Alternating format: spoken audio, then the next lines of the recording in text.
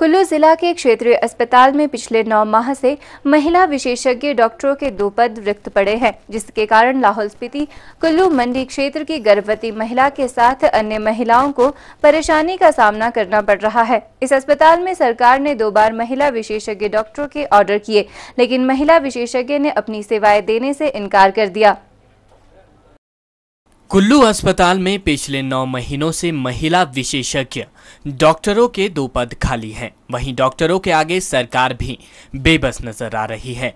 क्योंकि सरकार के दो बार ऑर्डर करने के बावजूद भी कुल्लू अस्पताल में महिला विशेषज्ञ डॉक्टरों ने अपनी सेवा देने से इनकार कर दिया। ऐसे में एक तरफ़ सरकार लोगों को घर द्वार पर स्वास्थ्य सुविधाएँ देने की बात करती है और दूसरी तरफ़ कुल्लू जिला में दर्जनों डॉक्टरों की कमी से स्वास्थ्य सुविधाएँ चरमराई हुई हैं। कुल्लू के क्षेत्रीय अस्पताल में आधा दर्जन से अधिक डॉक्टरों के पद खाली चल रहे हैं, जिससे क्षेत्र के लोगों को स्वास्थ्य सुविधाएँ नहीं मिल पा रही हैं। सरकार ने स्वास्थ्य विभाग में बड़े बड़े भवनों का निर्माण कर दिया है, लेकिन दूसरी तरफ़ डॉक्टरों की कमी के कारण लोगों को स्वास्थ्य सुविधाएँ न मिलने से निजी अस्पतालों का रुख करना पड़ रहा है। कुल्लू अस्पताल में महिलाओं ने कई बार कैबिनेट मंत्री गोविंद सिंह ठाकुर, उपायुक्त कुल्लू यूनुस व मुख्यमंत्री को ज्ञापन भेजकर महिला विशेषज्ञ डॉक्टरों के खाली पदों को भरने की मांग की है।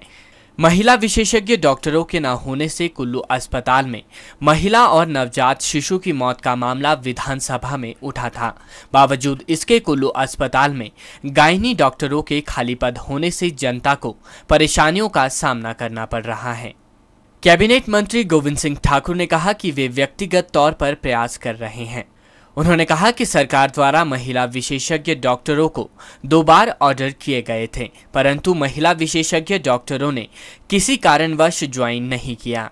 उन्होंने कहा कि सरकार ने नोटिस किया है कि कुछ समय के बाद नए बैच में स्पेशलिस्ट डॉक्टरों की तैनाती की जाएगी। व्यक्तिगत रूप से हमने बहुत प्रयास किए हैं। अभी दो बार तो हमने गायनिकोलॉजिस्ट के ऑर्डर करवाए हैं।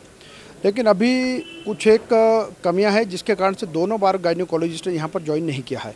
अभी सरकार ने नोटिस किया है और अभी कुछ दिनों में नए स्पेशलिस्ट निकलने वाले, उनसे हम निश्चित रूप से यहाँ पर गायनिकोलॉजिस्ट को लगाएँगे।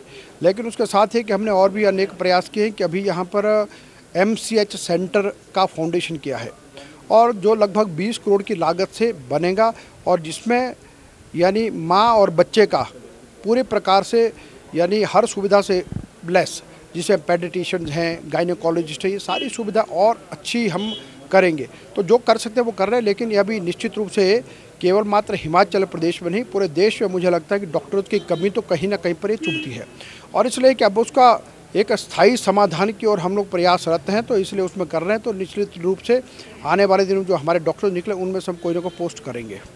उन्होंने कहा कि केवल हिमाचल प्रदेश में ही नहीं, बल्कि पूरे देश में डॉक्टरों की कहीं ना कहीं कमी खल रही है, जिससे स्थायी तौर पर इसका समाधान किया जाएगा। सिटी चैनल के लिए कुल्लू से दिलीप ठाकुर की रिपोर्ट।